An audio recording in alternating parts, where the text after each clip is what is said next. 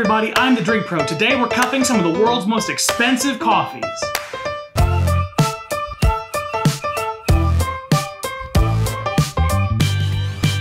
Hey everybody, Drink Pro Kyle here. Thank you all so much for joining me. Please continue liking, subscribing, sharing these videos with your friends, and everything you do to support the channel means the world to me. One of my patrons, one of my fans, one of my friends, Mike Halliday, has been very generous and provided me with samples of a series of fantastic coffees. I look forward to explaining a little bit more about them. But also, one of the things I'm going to do today is a proper cupping. Now, I kind of hinted at it using a French press in a previous video, but I haven't actually done a video on a cupping, which is sort of a classic method to distinguish different coffees from each other that's used throughout the coffee industry. When you do a cupping, what you're really trying to do is eliminate every variable possible. You want to make sure that the only thing that you're tasting and distinguishing between is the actual coffee itself.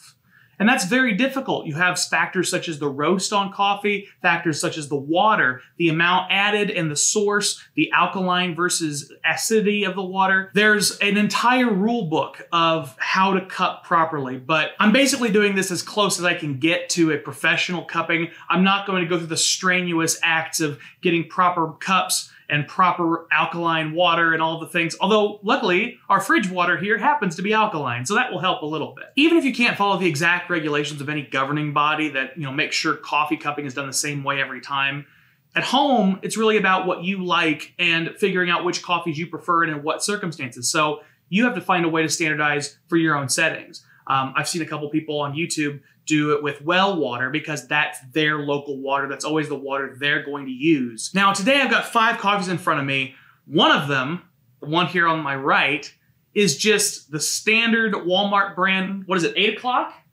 Yeah. It's essentially a control to compare against these incredibly interesting, differing, and sometimes very expensive coffees. So the first coffee I've got here is Panama Elida Green Tip Geisha. I know that's kind of a mouthful, but this coffee was actually developed in Western Ethiopia, but it's designed really to help prevent blight that was going on in Latin America at the time. While this coffee was eventually moved to Panama, it started its life in Costa Rica, but then was picked up in Panama and sort of developed into this really interesting powerful, valuable blend. Now, when it was first developed, it was selling for $21 a pound, which at the time was the highest price anyone had ever paid for a pound of coffee. Well, that value has gone significantly up. Part of the value in this coffee is the rarity. There's less than 900 cups of this coffee in terms of gram weight in the United States. It's incredibly rare and hard to get your hands on. I'm very, very glad that Mike sent this to me. Big shout out, Mike Halliday. I appreciate it, man. Um, the most recent auction of this coffee saw a pound sell for over a $1,000.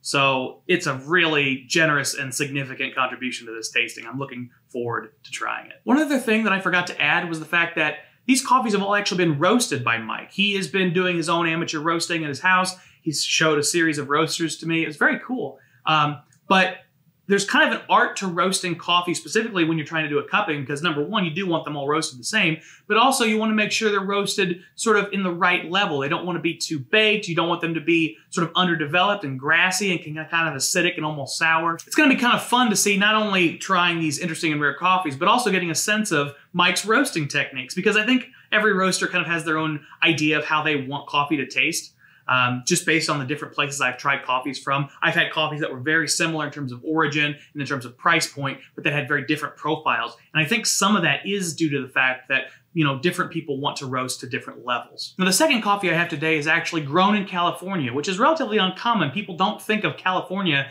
as a coffee growing location. It's a fairly recent move to start growing coffee there. Um, Mike actually got this coffee. It was one of the first that he tried roasting himself and he really liked it. He said, I watched a couple videos with him. He talks about uh, how balanced the flavors were, and it really just seems like a wonderful all around great coffee. He compared it to a Buffalo Trace store pick, which I kind of liked. You know, it's something that you know is going to be good, and it might be a little variety here and there. It's not going to blow your mind, but it's always going to be good. And I like that. I think that's a good comparison. Now, third, we've got a coffee coming from Yemen. And that's actually a pretty uncommon place to get coffee if you're just looking around at your local coffee shop. And part of the reason is because Yemen has had problems economically for a long time. It's been a war torn country, it's been a rather isolated country, but they make some really wonderful coffees, specifically coffees that look back to the origin of coffee and how coffee, quote unquote, used to taste. This is in part because the original country that we think of for coffee, the place where coffee really began, is Ethiopia.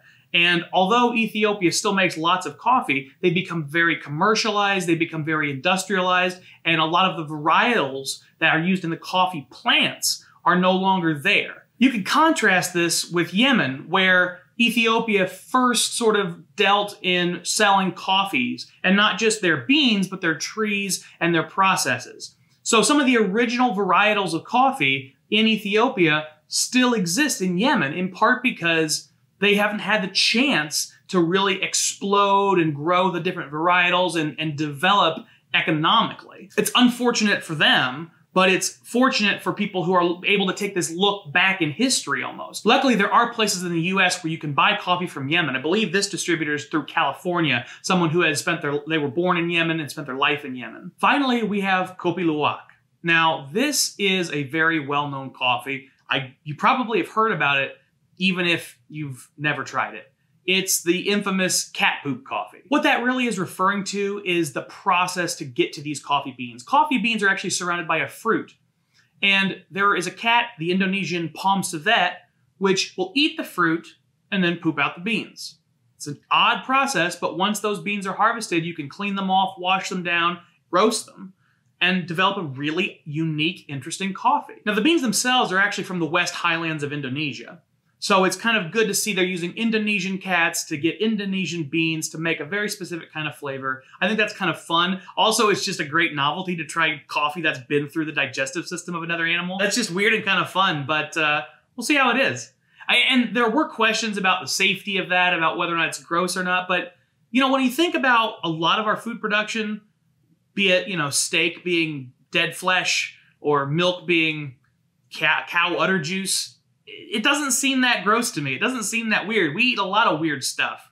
Matter of fact, do not look up where natural food dyes come from because it's freaking disgusting. All right, that's been plenty of preamble. I'm done chatting about coffees. I'm done chatting about the history. I'm done chatting about whatever else I'm talking about. Let's make some coffee. But first, I need to grind it.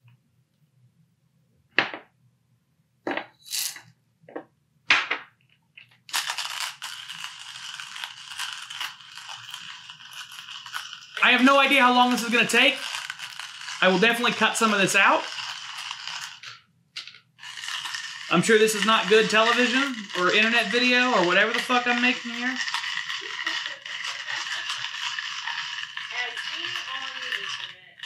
But wait, there's more.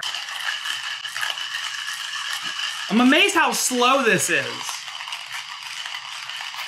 I think I'm gonna turn my camera off after this first one.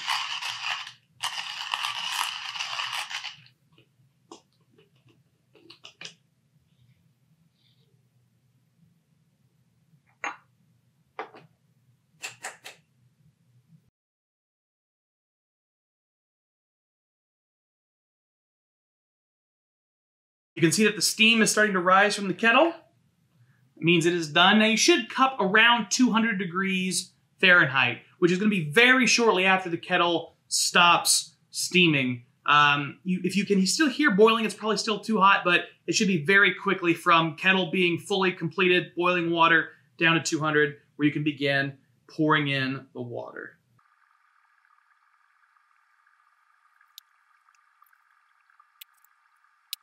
I want to make a point also to say that the 8 o'clock brand is not a Walmart brand. You can buy it at a lot of different stores. My apologies to the good people of 8 o'clock coffee and to my girlfriend Yolanda, who does not want to insinuate that we regularly shop at Walmart.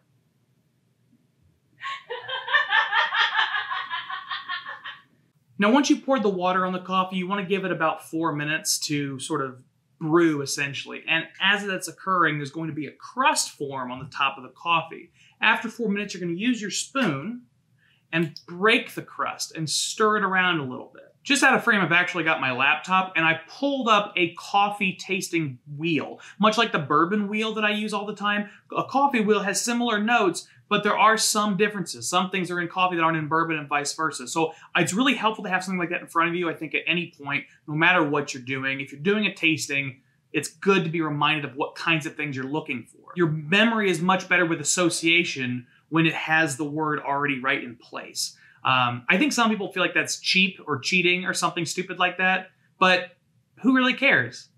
This isn't a professional thing. I am the drink pro, but it's the drink pro who needs to be acting professional. You at home need to be doing what you can to find what you like. And I'm not acting very professional at the time anyway. All right, let's break some crust. Now, I started pouring right to left. Uh, I think I am going to keep breaking the crust that way, but this is the cheap coffee, so we'll see how it goes. It does not smell good. Kopi. Oh, wow, that's crazy. That's very, like, nutty and bready. Oh, man. I'm excited to taste that. I'm going to spread these out a little bit, actually, because I think some of the notes are starting to get lost between them. All right, let's go to the Yemen coffee.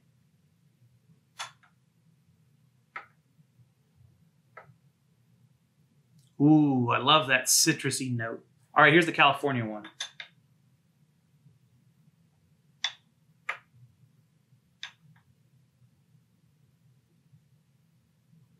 It definitely has a more neutral nose, I guess I would say. I can tell that there are some notes in there, but I believe it's one of the older copies I've got in terms of how long it was produced. And even though Mike had them vacuum sealed, some of that might deteriorate. It's hard to say for sure, but it does smell like there was uh, it was much more balanced in terms of being no specific note coming out and really speaking to me.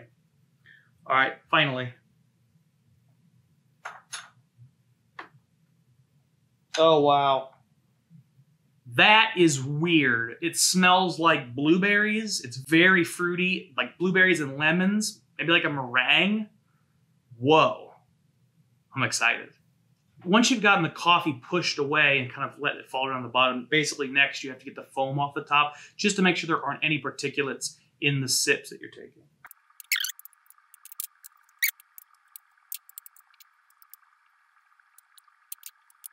Now, once you have the foam skimmed off and you've got the grounds pushed down to the bottom, it's basically a waiting game on temperature. Uh, typically, you want the coffee to be a little bit cooler than most people might enjoy it just sipping it. And part of that's because at higher and lower temperatures, it becomes more difficult to taste. This is something you see with whiskey a lot. A lot of people like colder whiskey or whiskey on ice, and the, a lot of the professionals won't use anything like that because the temperature shift will reduce the amount of flavors you can pull out. There's also a concern about burning your palate. Uh, you don't want to be drinking coffee when it's too hot. Uh, it might, you know, affect your palate. A lot of these people are professionals. They might have really expensive, valuable palates if this is their career. So there's a lot of different elements to it. But basically, in my mind, get the coffee to a nice temperature where you really think you're going to pull all the flavors from, and then you can start the tasting process. Now, you want to have a cupping spoon. There's different kinds of spoons you can use. Usually, cupping spoons are more rounded and sort of bowl-like as opposed to your teaspoon or tablespoon, which you know, using on a table, it's going to be a lot less deep. A soup spoon is a good substitute. One other thing I'll add, I've heard a lot of comments about people talking about cupping coffee being kind of weaker than average. And I think some of that is uh, really about being able to pull out different notes. Sometimes when you have coffee that's stronger, other elements underneath it can be overwhelming. It's sort of like an overaged whiskey. When there's too much woodiness in the whiskey, it overpowers other more delicate notes. So some things get lost if you have a stronger cup of coffee. And uh, it might be valuable, in fact, to have one that's not as you know not as strong as humanly possible. First, I'll start with the geisha.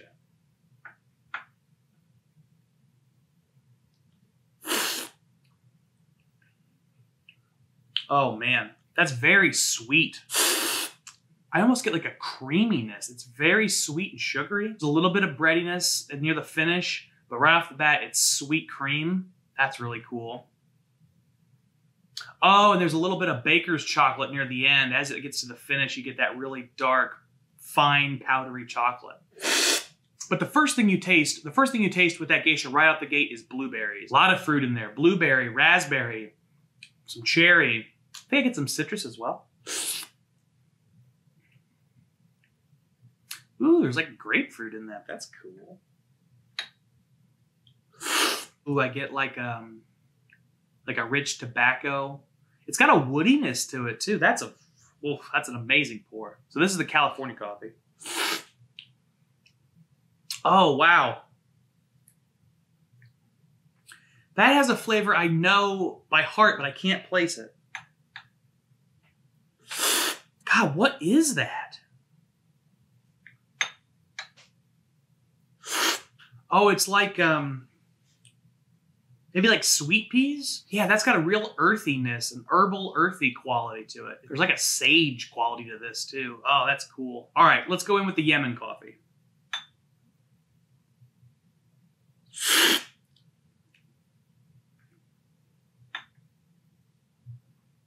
This reminds me a little bit more of the California blend than the geisha.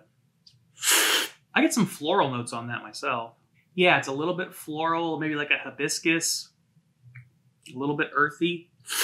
I almost get the note of like carrot. Like there is some vegetable quality in this that's uncommon from my experience in other coffees.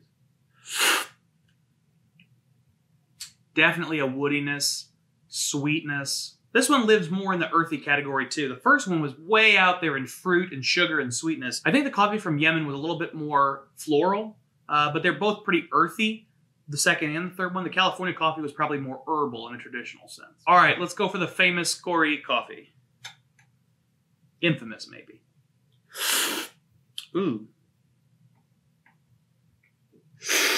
I think the fourth one is the nuttiest for sure. I just got like a hazelnut. I got a little bit of almond. There's more grain qualities also. I, it's almost bready. It's a real distinct like. Uh, it's like fresh baked bread. Ooh, I just got some lemongrass on that Kopi coffee too. That's cool.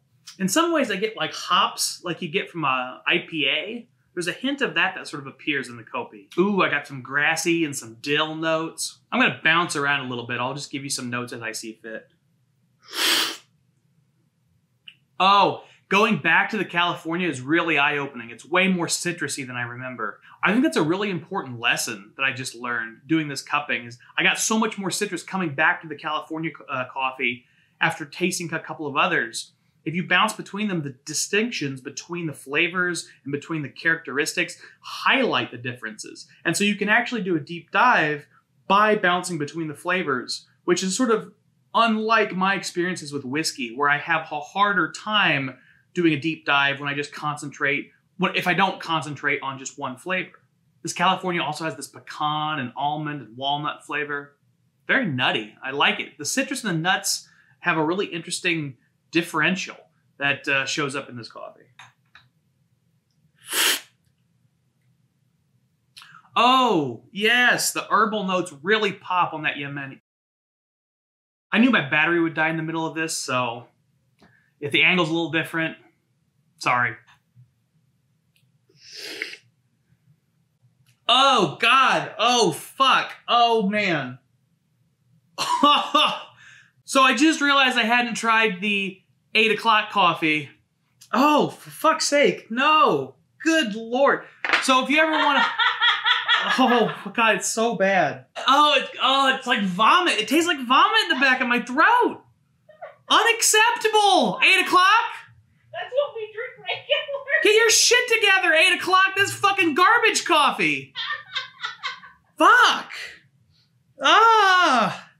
Well, this really highlights why you pay so much money for these good coffees because wow, that's bad. Going from these beautiful, unique, interesting, multifaceted coffees back to the eight o'clock, which is bitter, which has a vomit flavor, which has this just unpleasant medicinal uh, sourness, unacceptable.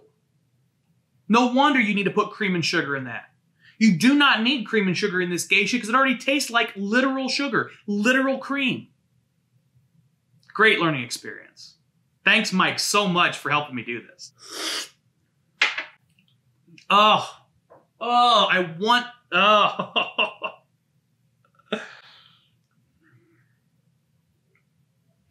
that geisha coffee is everything I want in a coffee. It is so sweet. It has all these cool berry notes. It's got citrus. It's got raspberry, blueberry, blackberry. Oh my God.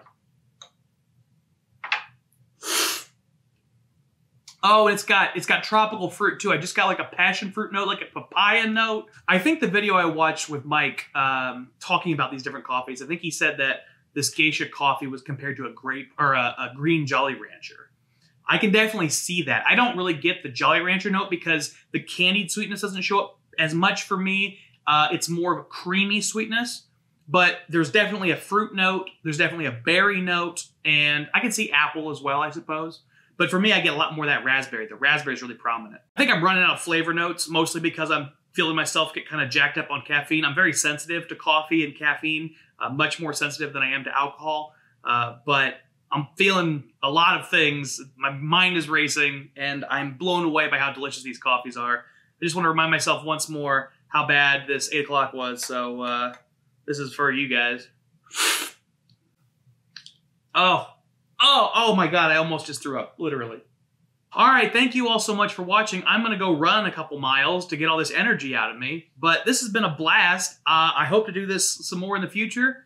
Thank you again for liking and subscribing. Um, keep letting me know what kinds of things you want to see. I love trying new experiences. You know, the Drink Pro is, is mainly a whiskey channel, but I'm not at all afraid to try different liquors, to try different coffees, to try mixed drinks. I want to experience different kinds of drinks. The Drink Pro is not the Whiskey Pro, even though I very much enjoy whiskey. So let's keep finding cool things to try, and you all keep drinking like professionals. Cheers. Oh, it's so good.